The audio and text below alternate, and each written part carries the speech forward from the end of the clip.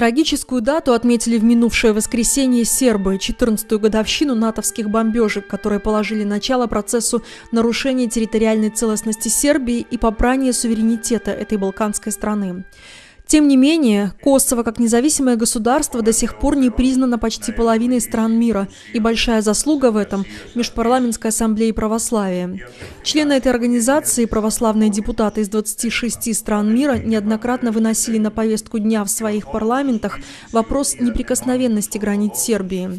С представителями сербского парламента, Скупщины, мы встретились в рамках форума, организованного Межпарламентской ассамблеей православия в Стамбуле. Интерпарламентарная скупщина православия veoma много поможе Srbiju. Межпарламентская ассамблея православия очень много помогает Сербии в ее усилиях по защите территориальной целостности и суверенитета от всех тех, кто старается насильно отделить Косово и Метохию от сербского государства. Межпарламентская ассамблея православия сильно поддержала Сербию в ее борьбе за уважение международного права, за невозможность в одностороннем порядке албанской страной провозгласить независимость.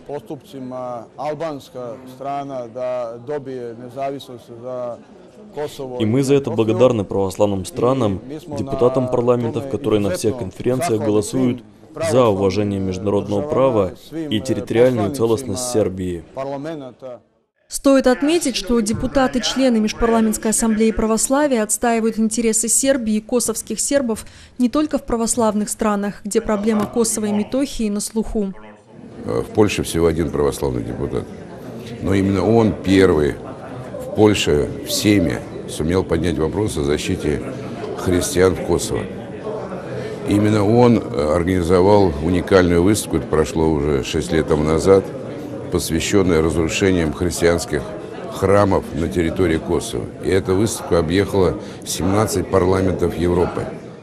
Депутат польского сейма Евгений Чиквин с коллегами-единомышленниками редакции журнала «Православное обозрение» и фондом имени князя Константина Острожского организовал не только выставку, но и сбор гуманитарной помощи для косовских сербов, сбор средств на восстановление косовского монастыря Зочиште. С тех пор в польском Подлясе ежегодно проходят акции в поддержку сербов Косово. Этим летом был организован фестиваль сербской культуры «Видовдан». Совсем недавно, в феврале, митинг в центре Белостока против незаконного отделения Косово от Сербии. To znači mnogo za pre svega srpski narod na Kosovo i Metohija, zatim i za celu Srbiju. Это много значит для сербского народа Косово и Метохии и всей Сербии. Таким образом уважается принцип постоянства границ и принцип сотрудничества государств в Европе. И это для нас поддержка в том, что мы правы, что мы должны выстоять, не сдаться, потому что Косово – сердце Сербии. А если нет сердца, если сердце не бьется, тогда и нет жизни для всей Сербии. И если мы должны выбирать между Косово и Метохией и Европейским Союзом, мы всегда за Косово и Метохию в составе Сербии. В следующем году в Белостоке на Видовдан факультет православной теологии Белостокского университета и польский фонд Видовдан организуют конференцию «Умереть, чтобы жить. Европа 21 века против завета святого царя Лазаря». Стоит отметить, что вопреки основному курсу Евросоюза за сербское Косово переживают во многих странах Европы.